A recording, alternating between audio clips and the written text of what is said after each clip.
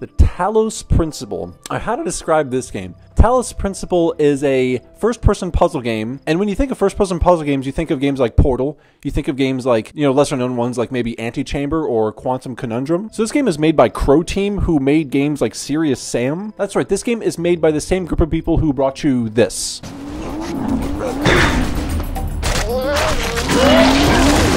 Gotta be more careful.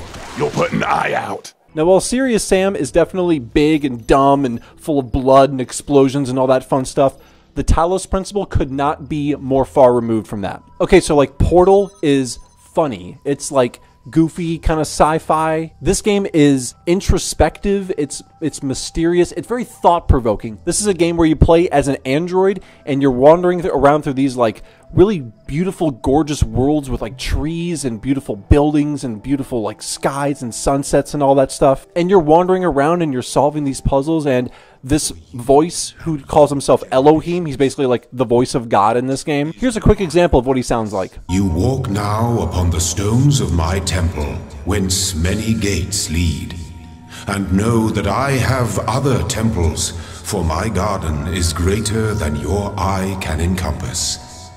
And all these worlds I made for you. Gee, thanks, buddy. And so when you start this game, you you know that you're an android because you can just like switch the camera to third person and you can actually like see your character and actually you can play the entire game in third person. You don't have to play in first person. But like you don't know anything about like the world around you or like why it is the way it is or why you're solving all these puzzles, but the puzzles themselves are well made and so you're naturally like, okay, let's, you know, let's go along with it. And then you run into these computer terminals and these computer terminals give you like some backstory as to what's going on. I mean, they give you some backstory, but you have to fill in a lot of holes in your head. And actually, that's a really great way to tell a story, I think, in a video game. Like, it doesn't all have to be cutscenes, it doesn't all have to be like the game just telling you everything that's happening. I mean, you really have to just kind of figure everything out on your own. But you meet this character in the computer terminals who calls himself the Milton Library Assistant. This guy is a total dick. A total dick and he keeps on asking you all these tough questions about like who are you and what does it mean to be human and what does it mean to be machine and all these like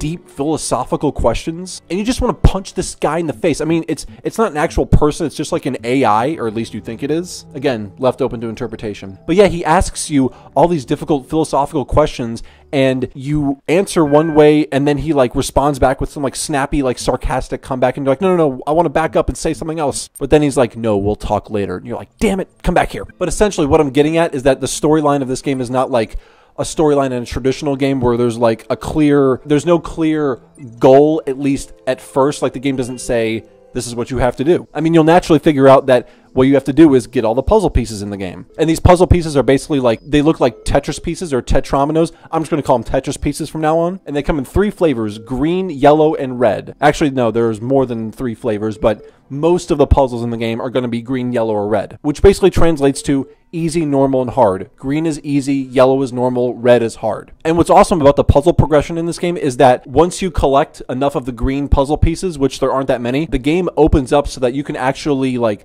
go to later puzzles in the game if you're feeling up to the challenge. And that's awesome because it makes it feel less linear. It's not like you don't feel like you have to complete the puzzles in room one, then the puzzles in room two, then the puzzles in room three. It's like no, just bounce around and do whatever you want. I mean, it's it's just nice to be open ended like that. All right, so how do these puzzles work exactly? So the game has these hub worlds, and in a hub world, it will say where each puzzle piece is, and they're basically like in these locked off areas and that is like the puzzle area. And it'll say which Tetris piece that you will get for completing the puzzle and any necessary items that you need. So let's run through the list of items really quick in this game. One of the first ones that you run into this game is called the jammer. It's basically like this little light on a little yellow tripod, and what you do is you shine it at a uh, like a blue door, and it jams the door, so basically like opens it for you. And once the jammer is like on that door, you have to keep it set there. You can't like carry it with you, like it doesn't permanently open the door. It just keeps the door open as long as the jammer is jamming it. And you'll also use the jammer to disable these like floating mines that'll kill you if you get too close. There's also turrets that'll kill you if you even enter their line of sight, and you can use the jammer to jam those as well. And what puzzle game wouldn't be complete without a block? Yes, the old block. Every puzzle game has to have blocks which you push on switches to open doors, and this game is not above all that. But the one item that you will get in this game that the game gets the most mileage out of is the connector. So the connector is basically like a crystal that's sitting on a tripod, and it looks a lot like a jammer as far as like, you know, it's a tripod and whatever, but like what it does is it connects a laser from wherever the laser starts in a wall to where it ends. And where it ends is always like right next to a door. So like you just have to get the laser going at a certain angle in order to unlock a door. Unlock a door or like turn on a switch which turns on something else, you know, something like that. There's also fans which you'll have installed in the ground and when they're turned on, they will obviously elevate anything that you put on them. And it could be like yourself in order to get over a ledge or it could be like a block to like move it up or to like launch it over a wall if the fan is angled in such a way. But the trickiest item to use in this game is called the recorder. And it's like this little console that's sitting on this post. And what you do is basically like you hit record and then you perform a certain number of actions and then you go back to the recorder and hit stop and then you hit play and then you'll see like a ghostly version of yourself doing everything that you just did. And part of the puzzle is like figuring out how to work together with like your past self in order to like get over a certain ledge. Like your past self will like hold something over his head, which is a platform, and then you find a certain way to like get up to like stand on top of that platform and like have him move to like another ledge or something like that. I mean, it's kind of hard to explain. I mean, I don't want to like give away the solutions to any puzzles, but this is these are just like the basic ways of using them. But enough talk about that. Like what makes the puzzles so good? Like, why are the puzzles in this game so interesting? Are they even interesting? Yes, they're interesting. They're very good. Also, there's a lot of puzzles. Before I talk about what makes the puzzles so great, there are a lot of puzzles in this game. A lot of puzzles. A lot. And this isn't something like Super Mario 64 where there's like 120 stars in the game,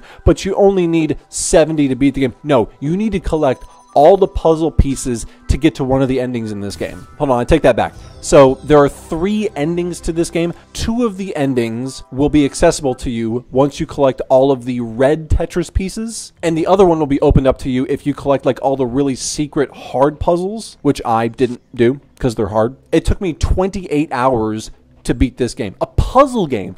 A puzzle game. And I'm pretty good at puzzle games. It took me 28 hours. The game does have these in-game hints that you can use, but what's cool about it is that like you have to find them and the game doesn't like tell you where they are, but you can like find them pretty easily if you like explore the hub areas enough. And with all the puzzles in this game, with all the hard puzzles, you're like, "Oh man, I need as many hints as possible." The game gives you 3. Well, it doesn't give you 3. It's like you have to find the 3 hints separately, if that makes any sense.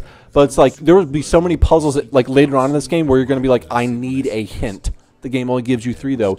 Better use them wisely. You only get three. Yes, you can go online. Yes, you can look at walkthroughs. Yes, you could look at guides and, you know, hints and tips and like all these walkthroughs to help you get through to the end.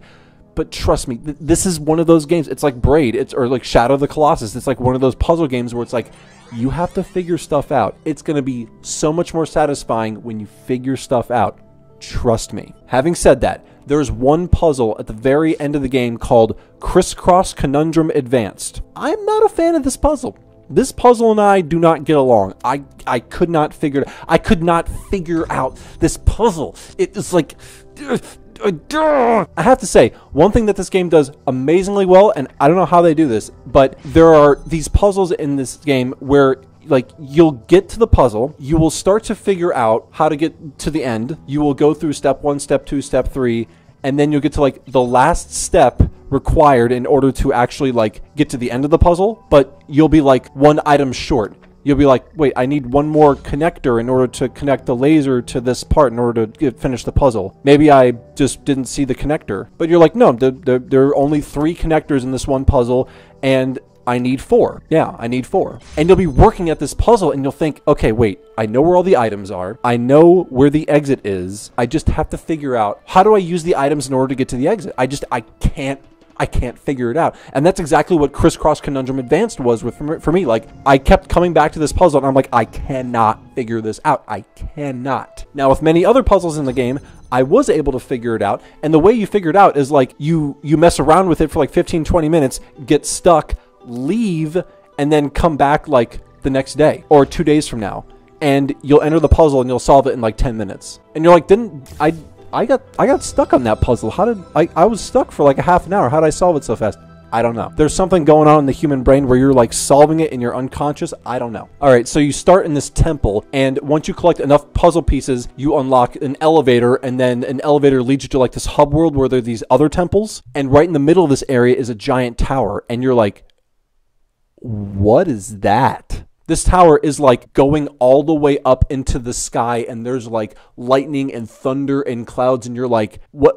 What? What what's up there? And then Elohim with this booming voice is like, You must not ascend the great tower, for it shall bring death and the end of your generations. "Oh, guess it's back to solving puzzles for me. Just gonna go over here and do some puzzles." All right, so you're collecting all the green Tetris pieces, you're collecting all the yellow Tetris pieces, and then you collect all these red ones, but like you can't find like where you're supposed to use these red Tetris pieces and there's so many of them. You're like, "What am I supposed to do?" And then you find this giant door and Elohim speaks to you and he's like, "If you solve all of my tribals, you will enter eternal life." And you're like, "Sweet." I'm gonna, I'm gonna do that. And then you finally get all the puzzle pieces, and then the door opens, and you're like, there it is. There's the end of the game. There's eternal life. But that tower, that tower is still there, and I haven't explored it yet. That's actually one of the coolest moments that I played in a video game in a while. Is like the first time you see that tower, you're like, sweet, I'm gonna go up to the tower, and then Elohim's like, you cannot go to the tower or you will die. I'm like, oh, oh, um, I'm sorry. And like as you're solving the rest of the puzzles in this game, you're like, what is in that tower? It's like it teases you. It's like, here's this mysterious, interesting looking thing, just don't go in it. It's like saying don't think about elephants. Oh, oops. There you go. This game looks gorgeous by the way, and what's amazing is that like it makes it feel full of life even though there's like no other life forms in there. Like you hear birds chirping and wind blowing and all that stuff, but like you're basically just by yourself as an android solving these puzzles but like the music is very soothing like the music has like this gregorian chant thing going on it's very soothing and calming and it's like it helps the presentation a lot in conclusion if you have a decent pc and if you're a fan of puzzle games the Talos Principle should absolutely be at the top of your list of things to play. Whether you play it now, whether you play it later, whether you add it to your backlog, at some point make sure that you play this game. And like any great puzzle game, there are times where you're going to feel like a genius and there's going to be times where you feel like the stupidest human being to ever walk the face of the earth. And sometimes that'll happen in the same puzzle. You'll feel dumb as crap because you'll be like, I know where all the items are. I know where the end is. I cannot figure it out. And you'll like sort of retrace your steps in the puzzle like okay wait i do this i do this wait if i what if i move this over here and then that leads to the solution and you're like oh that's how you solve that crisscross puzzle well played Croteam well played. Alrighty, I will see you guys next time for my next video review. It'll be either Evolve or The Order 1886. Uh, but until then, feel free to browse my channel and look at my other video reviews. Thank you all for watching.